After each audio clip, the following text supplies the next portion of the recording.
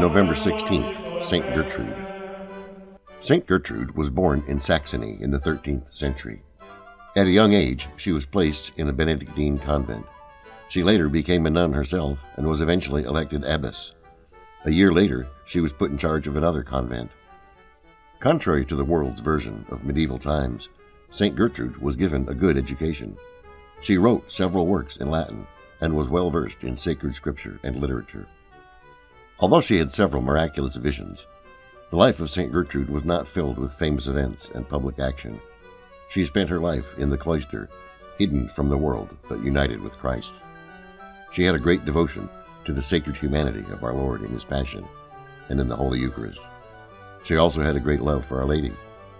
Although she led a contemplative life, she was known to be very active and solicitous in attending to the needs of all her sisters.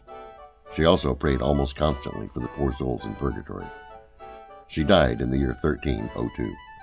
St. Gertrude, pray for us.